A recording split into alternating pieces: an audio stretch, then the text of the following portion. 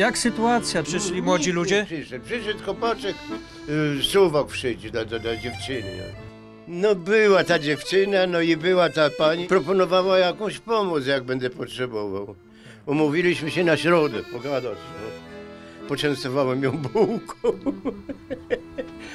Mam parę złotych odłożone, może mi starczy jakoś no, do, do, do końca życia i jakoś się tam dożyję, no. Starość jest paskudna, to, to, to nie za bardzo nawet jest co pomóc. Miło sobie porozmawiamy, ale nie będziemy się smucić. No, na pewno widzieliście ten film. Znacie historię pana Wacława, historię krawca z Alei Solidarności w Warszawie. Poznała cała Polska. Dziś wracam do pana Wacława, no i zobaczymy, sprawdzimy, czy ten rozgłos, ogólnopolski rozgłos pomógł mu, jak on się czuje, no jak się odnajduje w tym wszystkim. Jak sytuacja? Przyszli młodzi Nikt nie ludzie? Przyszedł, przyszedł chłopaczek, y, suwak wszedł do, do, do dziewczyny. no. Myślałem, że tu będzie kolejka ludzi do pana, a tu... Pan, pan czeka, aż pr- przyjdą. A może tu klienci przychodzili, tylko pana nie było, bo tu widzę, że pan tu napisał, nie, że nie, o tam 12.30. jestem cały czas, no, na godzinę na obiad wychodzę, no muszę coś zjeść chyba, nie? Była dziewczyna, żeby w żakiecie zrobić dziurkę No. i guzik przyszyć, ale to trzeba na maszynie zrobić, bo to od frontu jest tak, Mhm. wszystko widać, jak pan w ręką upitoli, to taka wyjdzie buło. No i wysłałem ją tam do krawcowych na, na, na, w pawilonach. No. Aha, że tu pan nie ma też sprzętu, żeby to... no nie mam, taka maszyna kosztuje 8 tysięcy, najtaniej. No, a co jak tu i wstawić nie mam gdzie i ja już się nie będę nastawiał na robotę. Ja modlę się do Boga, żeby nikt nie wszedł. Muszę się tłumaczyć, albo maszyna nie szyje, albo co, kurczę, no, bo, bo, wie muszę sobie radzić, no. Już pan nie chce tej roboty po prostu, Nie, bo no. nie chcę, nie chcę. Jak ktoś przyjdzie z jakąś tam robocinką, to, to, to, to mu zrobię, no.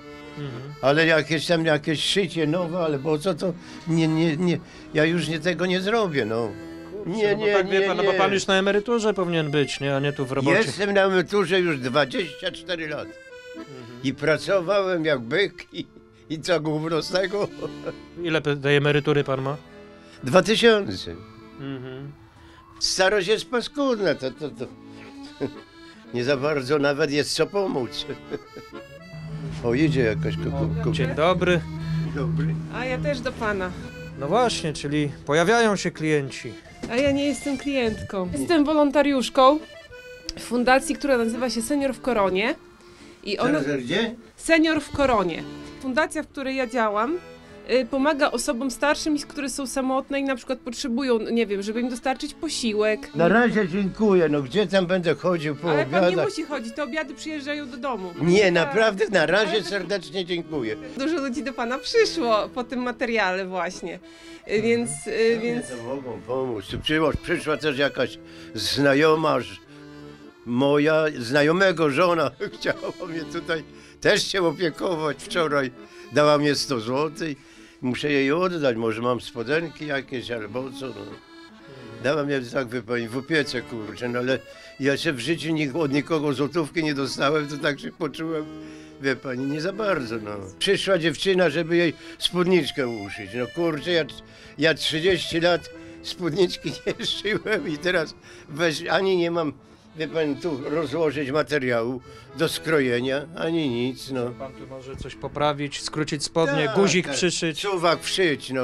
Rękawy skrócić, takie, wie pan, takie roboty, no, żeby nie wymagały jakiegoś większego, no, rozłożenia, no. No tak, bo tu nie, nie ma za dużo tego zakładu, to tam pan ma takie krzesełko, tak? No tak, koniec. Nie, już nic nie będę robił, proszę pana, nawet, nawet żeby mnie milion złotych dawali, kurczę, no bo i siły nie mam i, i, i wie pan. Na emeryturze pan już powinien odpoczywać, a nie No pracować. właśnie, i tak sobie zrobię, no bo co? No, no nie mam innego wyjścia, no.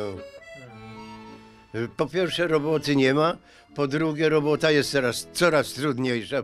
Pan zobaczy jak tu jest wszystko ładnie uszyte. Weź pan to kurczę uszyj pan. Zobacz pan, wszystko jak te kieszonki. Ja kiedyś szyłem marynarki, to tak się starałem, żeby tu rad, ładnie taki końcóweczka wyszła, skrzywiło się. No, ale jakoś tam klient zabrał, ale ja żebym wiedział, że takie krawiectwo jest trudne, to bym wolał być szakietowym w ubikacji, a nie tak, kiedy to, to taka męczarnia jest, że pan zobaczy, jakie jest szycie. Ten suwak cholerny, jak jest trudno. O. Musi być i specjalna maszyna. Przychodzą i z suwakami. Kochany, Ale no, nie biorę, no. Także nikt to pan nic nie, nie liczy na krawców, bo po pierwsze nie ma już w ogóle ich. Takie, takie, takie, no sklepiki z poprawkami, ale, ale, ale też siądą, też nie będą miały roboty. A płacić trzeba. Do Ministerstwa Skarbu czy tam Finansów muszę składać papiery i tam mnie wypełnili tak, że tam przy, przyszycie guzika, y, cerowanie, haftowanie, takie duperele. I to zanotowali mnie i z tego mnie wyliczają podatek. To ja płacę 550, 50, gdzieś 60 zł podatku tylko od tego. Ale jak ja bym płacił z 1600, panie Wacławie, no życzymy serdecznie zdrowia. dziękuję za miłą rozmowę. Trochę smutną, no ale No, Pozdrowi pan może, bo tu wielu, wielu ludzi. jesteście młodzi, to kurczę. Tylko dobrze się, dobrze sobie życie jak nie ułożyć. Trzy zawody się nauczcie. Kurczę pieczone, bo jeden upada, to pan się przeskakuje na drugi. Jak ja tu obserwuję, wie pan, młodych ludzi. No, bo, bo, bo, pan, siadają. Ja bym w życiu nie po, po, powiedział, no ile, pięć lat temu, czy dziesięć, że, że to krawiectwo, dwa miliony ludzi jest. Żeby upadło? Przecież to ludzie z tego żyli i na bazar żyli i do sklepów. No nie, panie, wszystko to zro, zrobiły te galerie handlowe.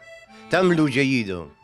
Ja pojechałem do Arkadii, tak tam w sprawie o, urzędowej telefonu czy czegoś, to o godzinie 10 rano w niedzielę czy w sobotę, to pełno ludzi sobie idą z dzieciaczkami, z tym. A kto tu będzie łaził? Ani zaparkować, ani nic. Ile osób do pana przyszło, jak te filmy zobaczyli? Wczoraj, dzisiaj? Dzisiaj nikt. Dzisiaj tylko my, tak. ale wczoraj ktoś tam był. Nie, to proszę pana.